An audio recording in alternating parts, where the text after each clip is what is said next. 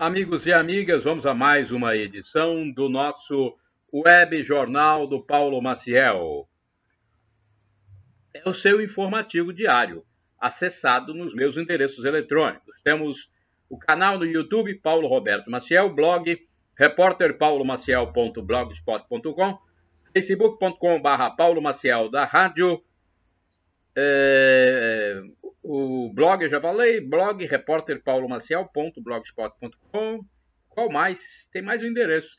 Ah, o Instagram, Paulo Roberto Maciel 6 barra. São quatro endereços, tem hora, é, quatro endereços, tem hora que eu me esqueço. Mas vamos lá.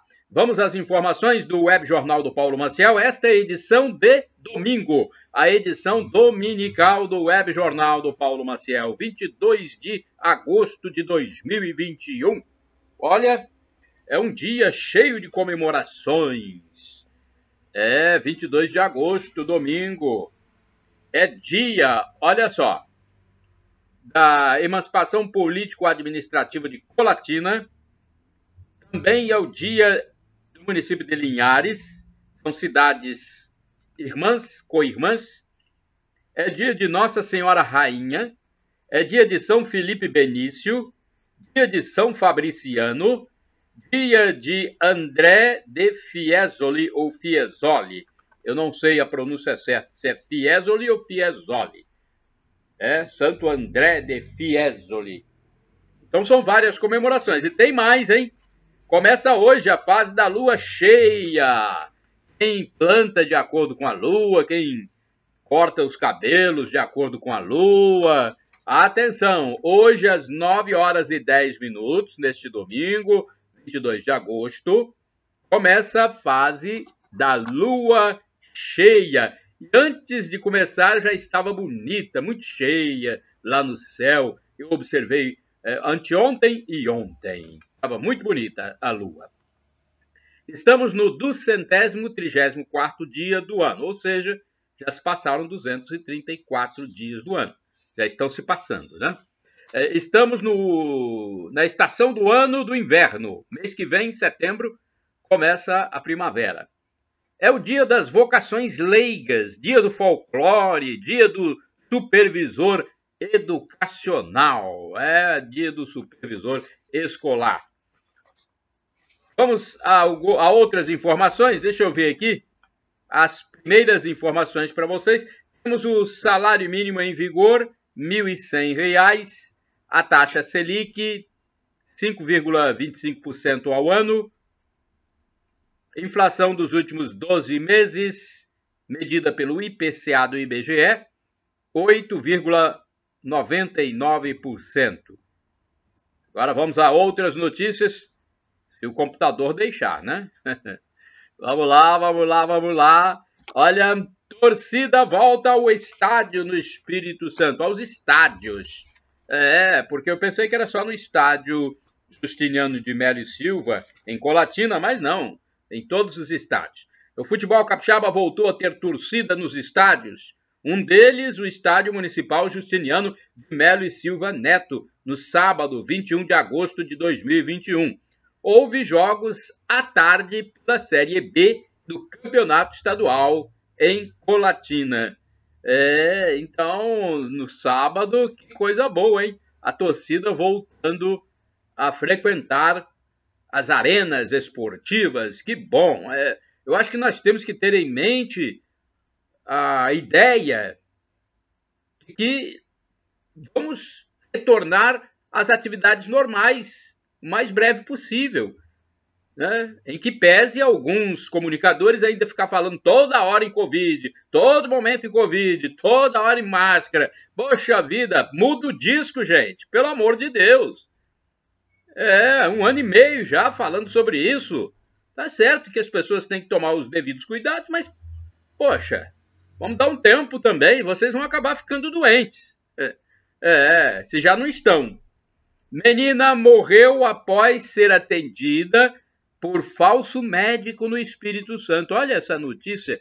Eu cantei essa pedra. Lembra que quando surgiu a notícia desse falso médico, eu falei: olha, muita gente foi atendida aí durante, me parece que quatro anos, que esse falso médico ficou no, nos postos de saúde, aí no, no hospital público, pelo menos, ele ficou.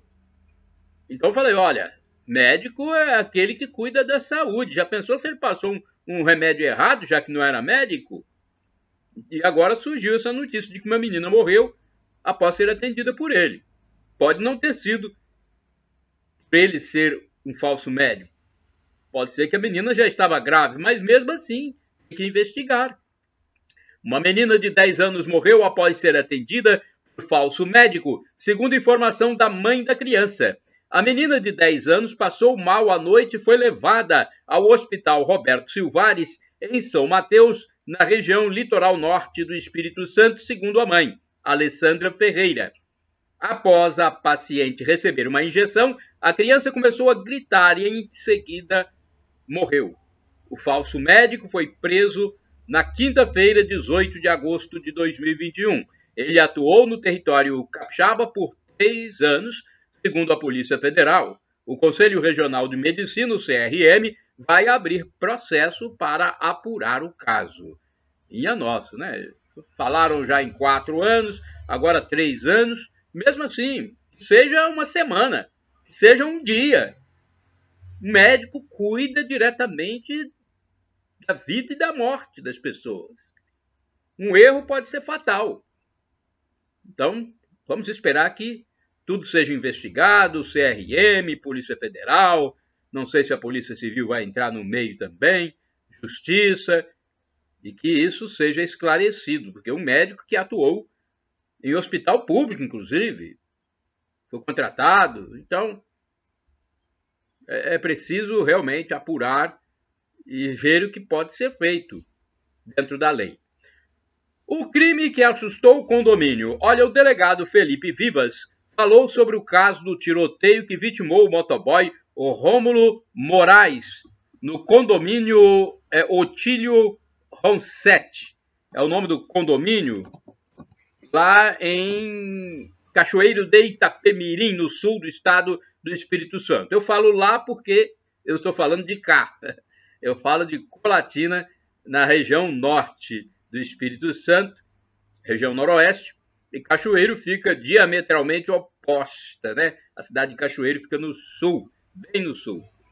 Então, a, a, o delegado Felipe Vivas falou sobre o caso que vitimou o motoboy Rômulo Moraes nesse condomínio em Cachoeiro de Itapemirim na última quarta-feira, 18 de agosto de 2021. O policial confirmou que o adolescente de 17 anos que participou do crime mostrou frieza e disse que foi uma pena não terem morrido três dos alvos dos criminosos. Olha o que o depoente falou, hein? O adolescente é, desbocado ainda por, por cima, né? Chegar assim na frente do delegado e falar isso, né? Foi a pena que não morreram todos os três. Meu Deus!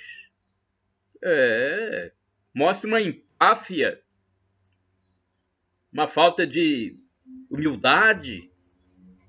Poxa, nem diante da polícia as pessoas não têm humildade. Vamos atualizar o caso, porque o crime que assustou o condomínio tem um detido, conforme eu já falei, mas eu tenho aqui outras informações de, de um, um, um outro meio de comunicação.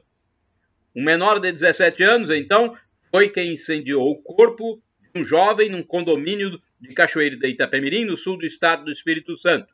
O suspeito se entregou à polícia na quinta-feira, 19 de agosto de 2021. Além do jovem morto, um outro homem ficou ferido. A polícia está atrás de mais dois suspeitos que ainda estão foragidos. Quem atirou foi um indivíduo maior de idade. Ele atirou seis vezes, recarregou a arma e atirou de novo. Os criminosos tinham a intenção de matar três inimigos. O homem ferido está internado fora de perigo. Haveria uma briga entre os envolvidos. O delegado disse que a Polícia Civil está em diligências e seria melhor que os foragidos se entregassem. Olha o conselho do delegado: seria melhor que os foragidos se entregassem, né? Porque a polícia está atuando. Morto na serra sem identificação. Um homem morto a pauladas na serra foi levado para o Departamento Médico Legal DML de Vitória. O crime aconteceu na localidade de Paredão, e o corpo foi transportado para outro lugar. Até a sexta-feira, dia 20 de agosto de 2021, no início da noite, ninguém havia comparecido para liberar o cadáver para sepultamento. Bombeiros feridos em Colatina, num trevo em Colatina, município do noroeste do Espírito Santo, três bombeiros militares tiveram ferimentos leves após a viatura capotar. Eles foram socorridos por outro grupo e receberam os cuidados de saúde. O caso se deu na sexta-feira, dia 20 de agosto de 2021. Os feridos não são da cidade do norte do Espírito Santo, do noroeste. Assassinos de Milena Gotardi serão julgados na próxima semana. Começará na segunda-feira, dia 23 de agosto de 2021, amanhã, o julgamento do assassinato da médica Milena Gotardi, ocorrido em 2017. Ela foi assassinada a tiros no estacionamento de um hospital no bairro Maruípe, em Vitória, capital Espírito Santense. O policial civil Hilário Frasson e mais seis pessoas estão envolvidas no crime. Todos estão presos. A expectativa do advogado da família, Renan Salles, é de que todos sejam condenados, mas as penas de cada um podem ser diferentes. Haverá pelo menos 30 testemunhas para falar diante do juiz Marcos Sanches. O julgamento está previsto para durar sete dias.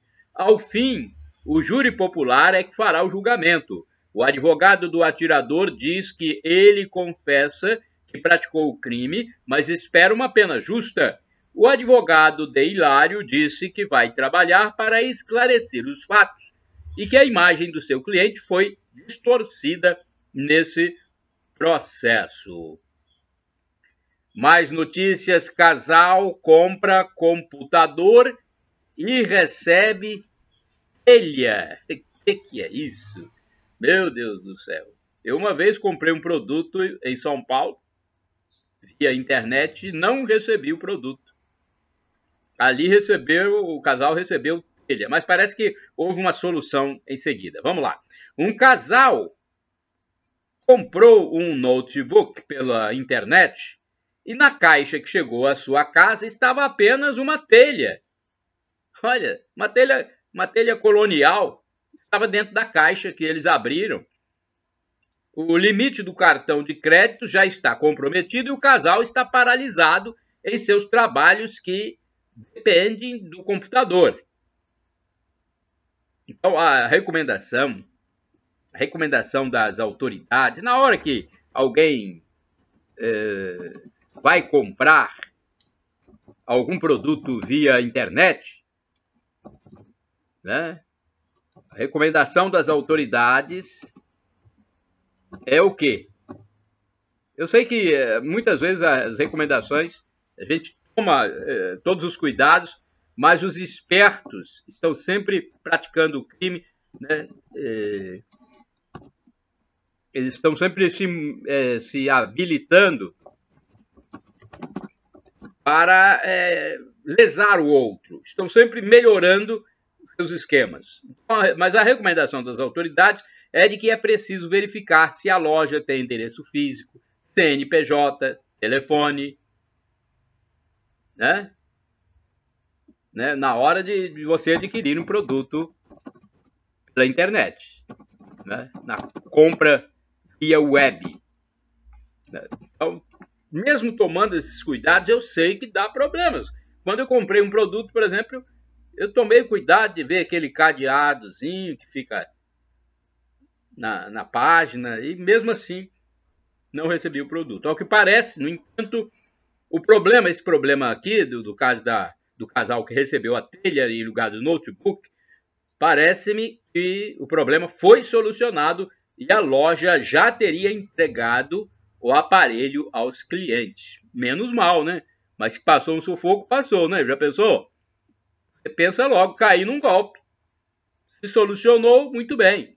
Mas mesmo assim, houve um dano. Como é que recebeu essa telha? Onde vê essa telha? Difícil, né? A gente entender. Ah, vamos aqui, temos é, uma, uma catequese aqui. Eu estava vendo um programa do professor Felipe Aquino no canal no YouTube. E o professor Felipe Aquino disse o seguinte: ele já fez vários livros, ele tem, ele tem quase 100 livros, ou mais de 100 livros, sobre a catequese para os católicos, a espiritualidade, os esclarecimentos de dúvidas, a história da igreja. Então, o professor Felipe Aquino faz um trabalho excepcional. Eu nunca vi nenhum leigo, nenhum sacerdote fazer um trabalho tão importante como o dele na atualidade. Então ele merece todos os prêmios possíveis. Realmente é um grande orgulho para mim ter um leigo como professor. Eu também sou formado na licenciatura de letras. No caso dele, é professor de física, mas ele depois é, se né, doutorou, e, e também se formou como professor de História da Igreja. Eu sou formado em Letras, né, licenciado, tenho a licenciatura, então sei o que é ser professor. Então, o professor ele, ele fica, o bom professor fica satisfeito em passar para os alunos conhecimentos que sejam para o bem da, da vida desses discípulos. E é o que eu vejo no professor Felipe Aquino. Ele quer o bem dos seus discípulos, dos seus né, seguidores, dos fiéis da igreja, dos seus irmãos católicos. Diferente de muitos professores esquerdofrênicos, que existem muito no nosso país, infelizmente, os esquerdofrênicos, marxistas, é, anarquistas, que passam informações que só deturpam, deturpam a história, deturpam é, a vida social das pessoas, a vida política. Então, tem muitos professores esquerdofrênicos que eles deveriam ser banidos da nossa vida. Eu, como pai, não quero que meu filho estude com esses professores, mas infelizmente eles estão por aí nas escolas. Os esquerdofrênicos estão fazendo, já fizeram mal imenso a, a, ao discipulado. E agora, para recuperar essas pessoas é difícil, porque a mente às vezes engessa, endurece, empetrece, empedra, calcifica. Então, ainda bem que temos um professor como Felipe Aquino, que fala para nós católicos informações, transmite informações importantes e com muita moderação, com muita é, consciência do que está falando, com conhecimento, com pesquisa, e de uma forma sóbria.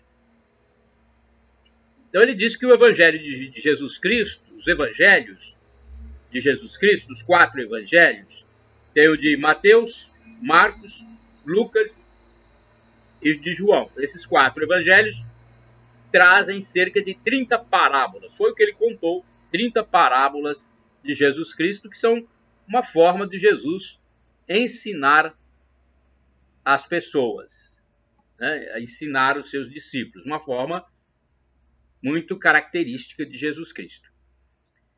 Bem, saindo do professor Felipe Aquino, que é católico, temos aqui também um, um pastor chamado Rodrigo Mocelin, que também ensina muitas coisas na internet. Eu não sou evangélico, protestante, eu não sou, mas sou católico, um católico que também ouve as outras pessoas para fazer o discernimento. O próprio São Paulo disse, o apóstolo São Paulo disse: olha, ouça tudo e fique com o que é bom. Então eu estava ouvindo o pastor Rodrigo Mocelin, e entre outras coisas ele disse o seguinte: olha só, vê se eh, analisa para você refletir essas palavras do pastor Rodrigo Mocelin. Ele disse o seguinte: você sabe o que é um homo afetivo, um gay? Um gay é um homem negando a sua própria natureza, disse o pastor. E uma mulher que diz não ter a missão para ser mãe? É alguém em rebelião contra sua própria natureza. Aí o pastor segue, dizendo que Jesus obedeceu ao Deus Pai em todas as coisas. Como pode ser ruim sendo ele Deus? Como pode ser ruim obedecer? As mulheres foram convencidas de que se submeter ao marido é escravidão, mas se submeter ao patrão lá fora é liberdade, diz o professor. Professor não, pastor Rodrigo Mocelin. Né? Elas foram convencidas de que cuidar de sua casa, onde ela é dona, é escravidão. Mas ir para o mercado de trabalho, onde ela é empregada, é libertação. Elas foram convencidas de que cuidar da sua casa é medíocre, mas ir para fora e cuidar de outras casas é libertador. Em épocas passadas, quando um homem afirmasse que ele era Napoleão Bonaparte, ele seria encaminhado para um hospital, recebia uma camisa de força e remédios. Hoje, diz o pastor Rodrigo Mocelin, hoje, se o João diz que é Joana, ele é chamado a um programa de televisão, ganha homenagem e é considerado iluminado. Negar quem somos hoje é considerado ápice do saber, do progresso. Aristóteles diz que A só pode ser A. Você só pode ser o que você é. Quando você nega quem você é, você está caminhando para uma vida medíocre e frustrada. Não importa quão bem sucedido você venha a ser, enfatizou o pastor Rodrigo Mocelin. Eu e você não viemos do nada. Eu e você fomos criados por Deus, nós temos uma natureza. A palavra natureza vem do latim nascer. Sim, como você nasce, determina quem você é. Como seu Deus fez você, determina quem você é. Aí o pastor Rodrigo Mocelin dá um conselho: não tente se rebelar contra o seu Criador. Submeta-se e desfrute da boa, perfeita e agradável vontade de Deus. Então, essa é uma parte da pregação dele que eu achei importante passar para reflexão de todos nós. Importante ouvir várias reflexões e nós mesmos fazermos cada um a nossa. Agora vamos falar dos 100 anos de Colatina. Eu falo aqui é, eu transmito essas informações da minha cidade, Colatina, que tem 123.400 habitantes, situada no noroeste do Espírito Santo. E nesta data, neste domingo, 22 de agosto, Colatina completa 100 anos. Então vamos à notícia. Colatina comemora 100 anos de emancipação política neste dia 22 para comemorar o primeiro centenário de emancipação político-administrativa, foi organizada uma programação especial que inclui desfiles de carros antigos, show pirotécnico e solenidade de transferência da capital do estado para a cidade. A programação começou no sábado, com um culto ecumênico, um culto numa igreja evangélica, a primeira igreja batista de Colatina, na Avenida Beira Rio. Neste domingo, a partir das 5 horas, será a largada da corrida de 100 quilômetros. A partir das 7 horas, missa do centenário na Catedral Sagrado Coração de Jesus, no centro da cidade. É católica, né? Catedral. Em seguida, um desfile cívico virtual das escolas, transmitido pela página da prefeitura no YouTube. A programação segue com desfile de carros antigos. antigos. O desfile já é com carros é presencial. Né? Desfile de carros antigos, motoclubes, jipes e ciclistas a partir das 8h30 pelas ruas da cidade com destino à área verde, onde será realizada a solenidade de transferência da capital do Espírito Santo para a Colatina, com a presença do governador Renato Casagrande. Haverá também o lançamento do selo postal dos Correios em homenagem ao centenário.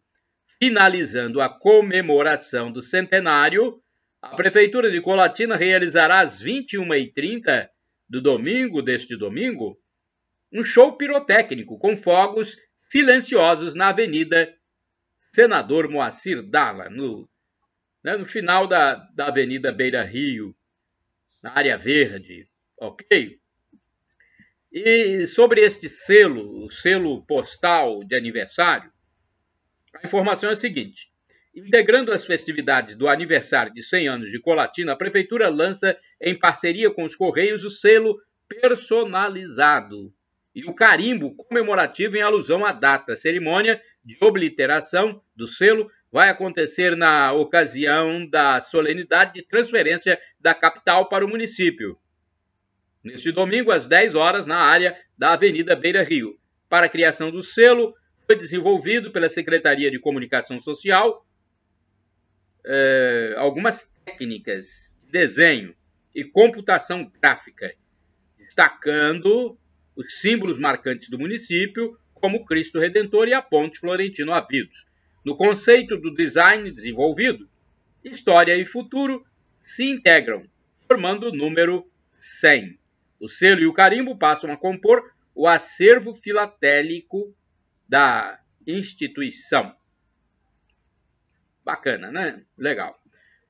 Bem, é, já foi divulgado o novo mapa de risco para a Covid-19 no Espírito Santo, cada vez mais leve, mais tranquilo para os nossos amigos que moram no Espírito Santo, no estado, no território capixaba.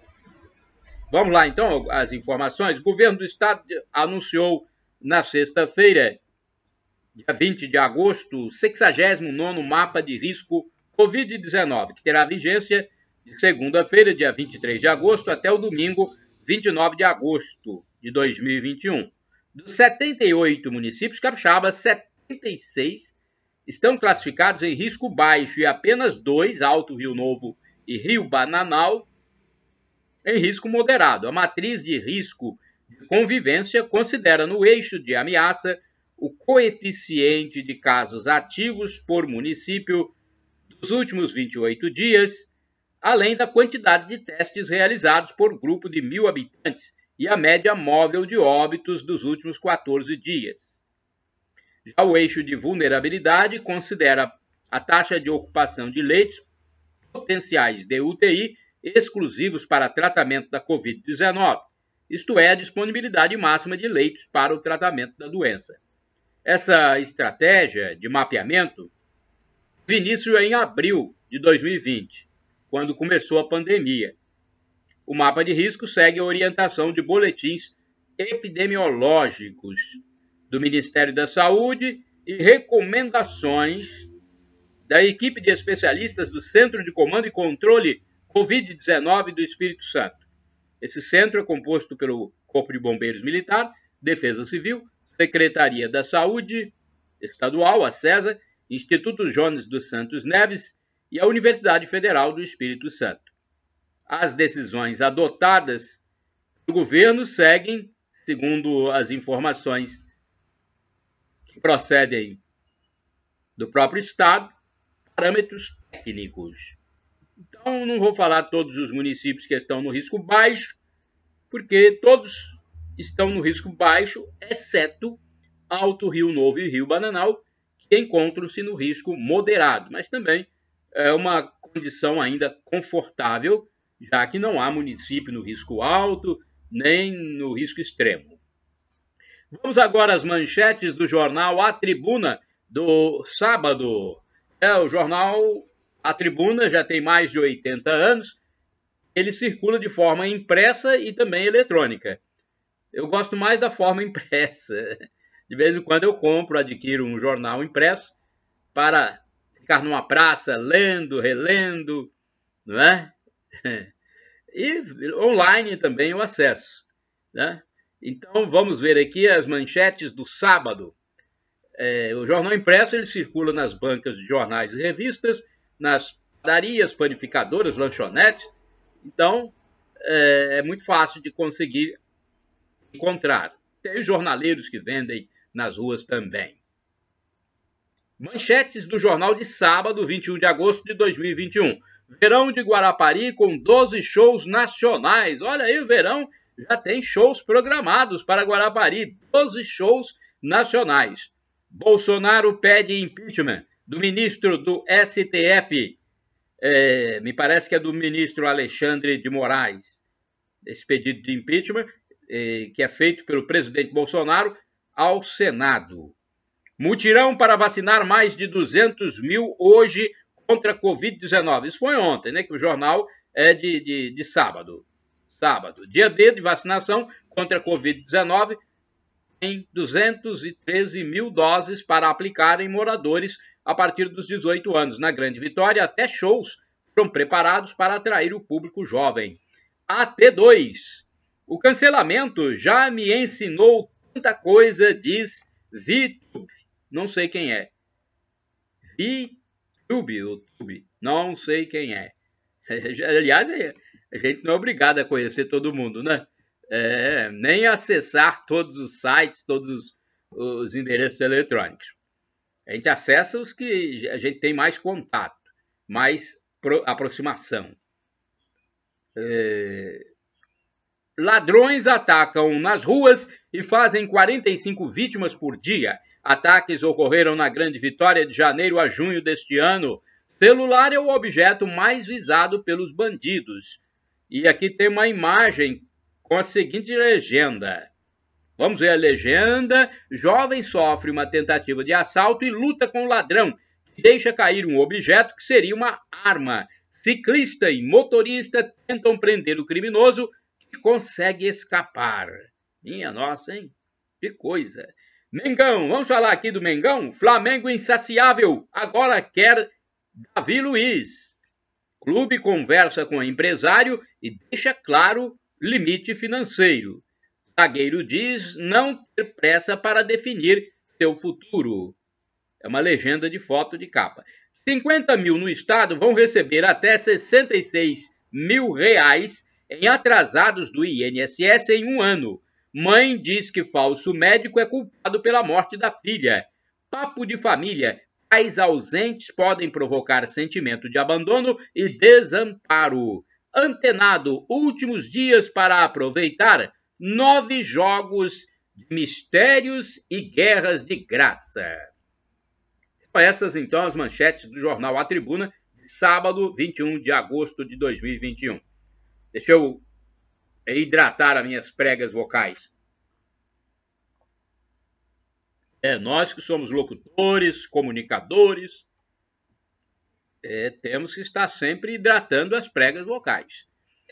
Pesquisa informal de preços. Olha, eu faço as minhas compras. Aí o que, que acontece? Eu pesquiso em dois a três estabelecimentos e pego, olha, a nota fiscal. Depois de pesquisar em dois a três estabelecimentos, eu vejo onde está o menor preço e compro. Quando eu compro, eu pego a nota fiscal e passo os valores para vocês aqui, para que vocês também possam seguir o mesmo exemplo, fazer pesquisa e, né, e comprar no estabelecimento que vende o preço mais módico. Eu comprei rins bovinos, o quilo, R$ 2,98. Foi no Lavagnoli Supermercados de São Silvano é, o nome oficial desse supermercado, gente, é Supermercado Dois Amigos Atacado e Varejo Limitada. Fica na Avenida Silvia Vidos, número 169, no bairro São Silvano, Colatina, Espírito Santo. Telefone 0 Operadora 27 3723 5011. Ah, eu comprei também, olha o que eu comprei. Inhame e goiaba. Eu até já comi o inhame e a goiaba. No meu almoço do sábado, eu coloquei um vídeo aí, se vocês quiserem ver o meu almoço do sábado, vai lá no YouTube, Paulo Roberto Maciel, é o meu canal. Deixa eu ver, tá também no blog, repórterpaulomaciel.blogspot.com e no facebook.com barra Paulo Maciel da Rádio. Eu acho que só não está no Instagram. Eu acho que não deu para colocar, mas veja lá. Instagram é Paulo Roberto Maciel 6 barra. Eu comprei então inhame e goiaba, R$ reais o quilo. tanto o inhame quanto a goiaba estavam é, no valor de R$ reais o quilo. Foi na Feira Livre de Hortifruti Granjeiros do Centro, na Avenida Delta, bairro Esplanada, Zona Urbana Central de Colatina. Então, inhame a R$ reais o quilo e goiaba também R$ reais o quilo. Agora vamos falar das celebrações na paróquia Sagrado Coração de Jesus, no centro de Colatina, é, centro e bairros adjacentes. Vamos lá, neste domingo, então, é dia de missa de preceito para os católicos, é dia de estar na igreja louvando a Deus, agradecendo, também pedindo, não, não é proibido pedir, não, pode pedir, mas é, é mais importante a gente agradecer. É, no sábado eu encontrei com um amigo meu que ele falava isso. Paulo, a gente tem que agradecer muito. Eu vi ontem a lua bonita. Olha o sol, como é que está lindo. Ele falava para mim. E eu também falava para ele, é verdade. Olha que céu com nuvens bonitas também. Olha o céu azul, nuvens brancas, né? Com esse panorama tão lindo, este ar que nós estamos respirando, né?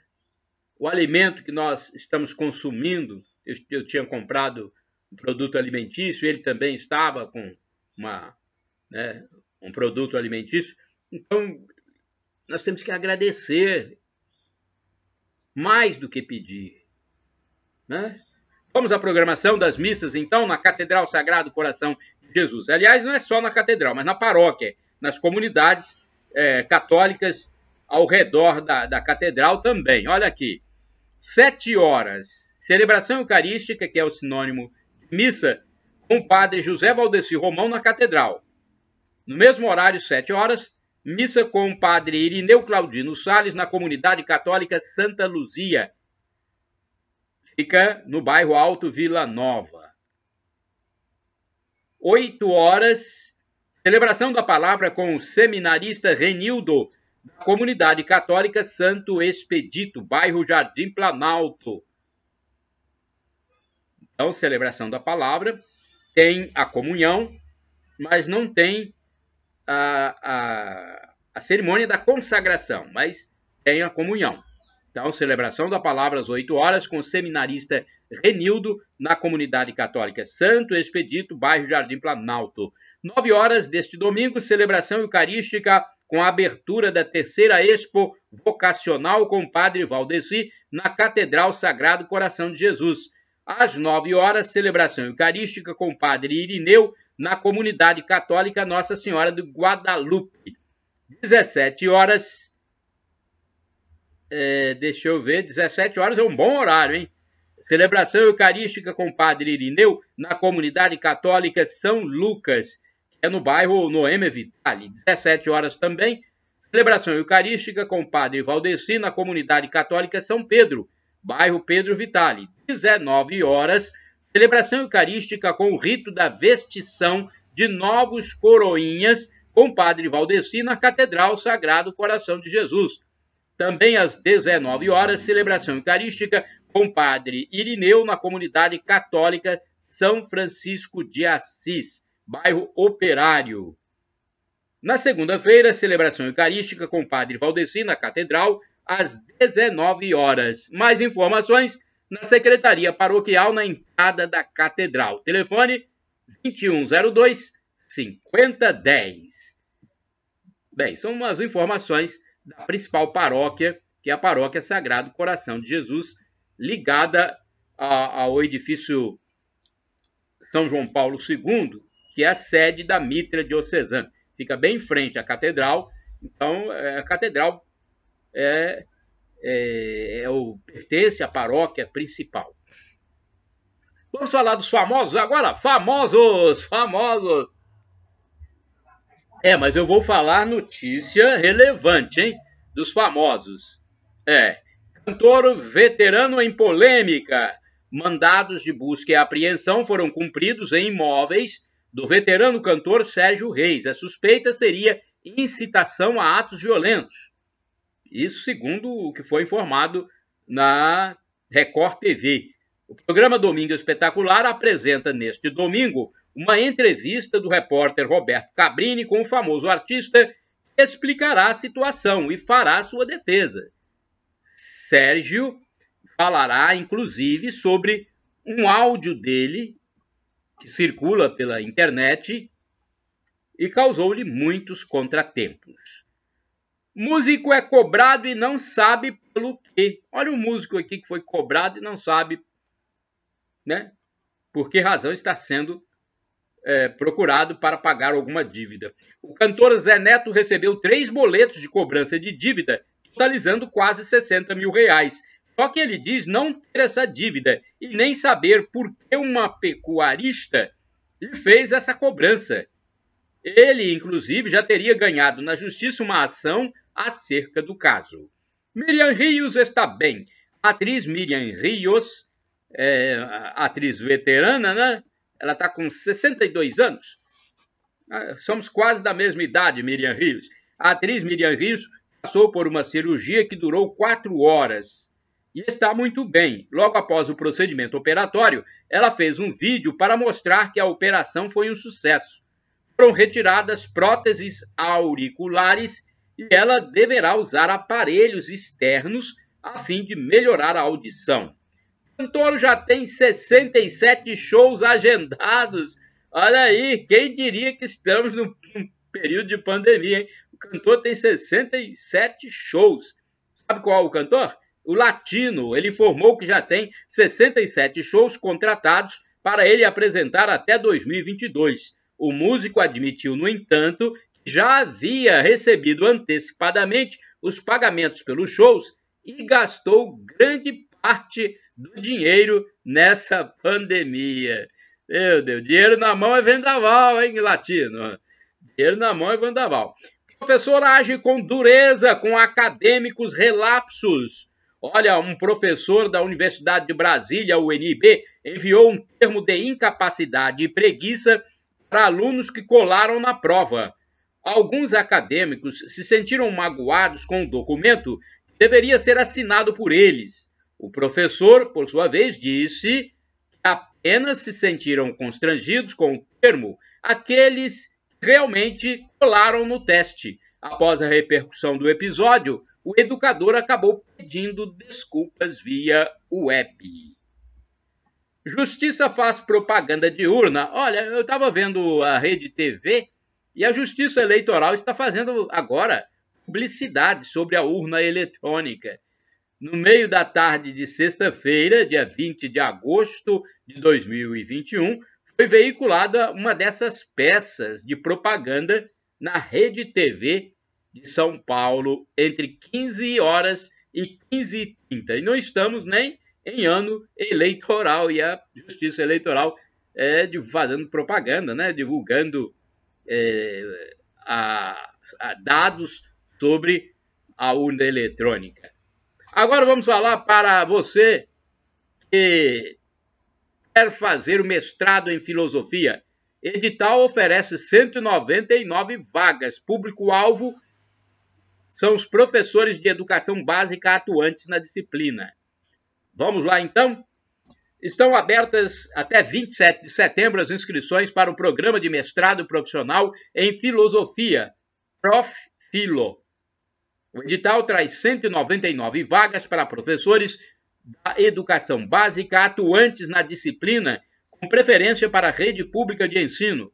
Serão distribuídas bolsas da CAPES para até 30% dos selecionados. A CAPES é a coordenação de aperfeiçoamento de pessoal de nível superior vinculada ao Ministério da Educação, MEC.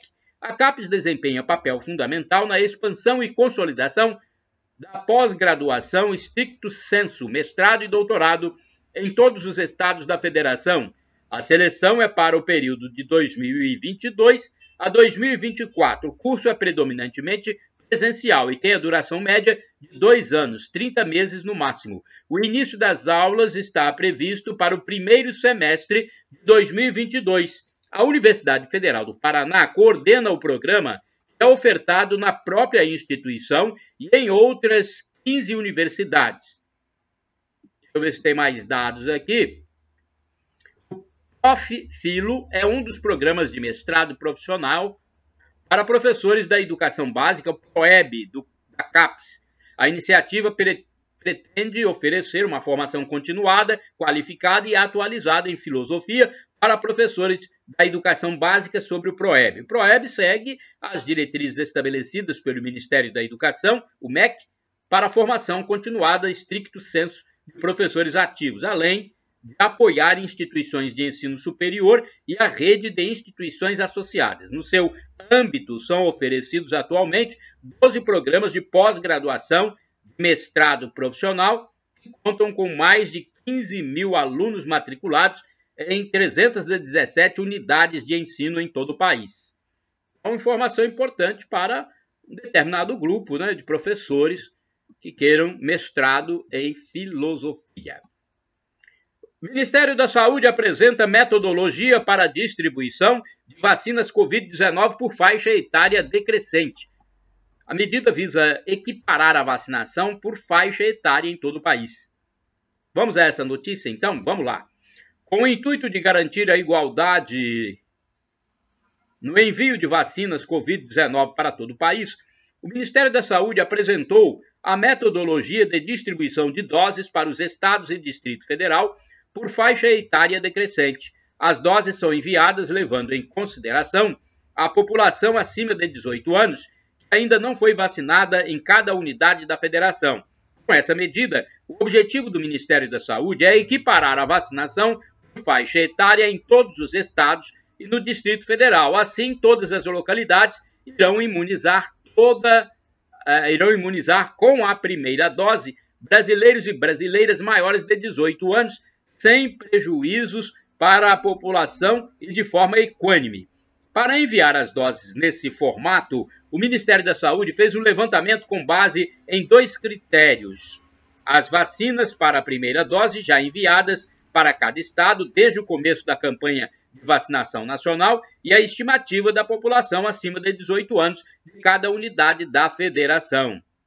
Então, essa é a estimativa de cobertura vacinal atual usada para basear o cálculo de distribuição de doses. É com essa metodologia que as unidades da federação vão receber o quantitativo de doses para pessoas acima de 18 anos que ainda precisam vacinar, considerando a quantidade de doses entregues pelos laboratórios a cada nova distribuição.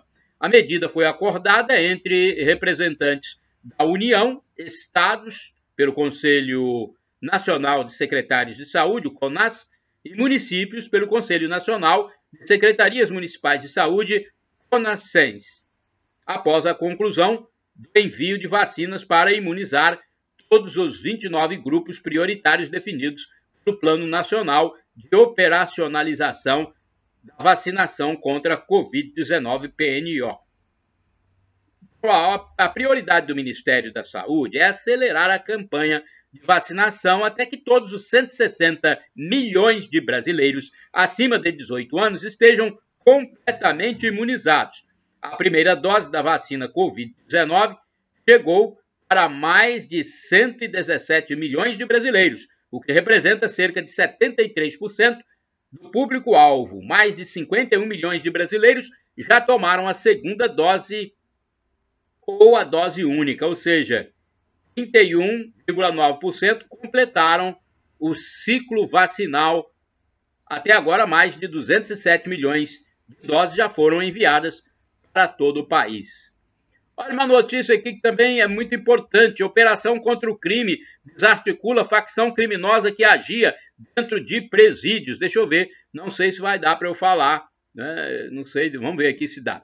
Cumpridos 18 mandados de prisão preventiva e dois mandados de busca e apreensão. A Polícia Federal deflagrou a Operação Panteão com o objetivo de desarticular uma facção criminosa com células em várias cidades no Maranhão e em outros estados da federação que vem coordenando atividades criminosas de dentro de presídios.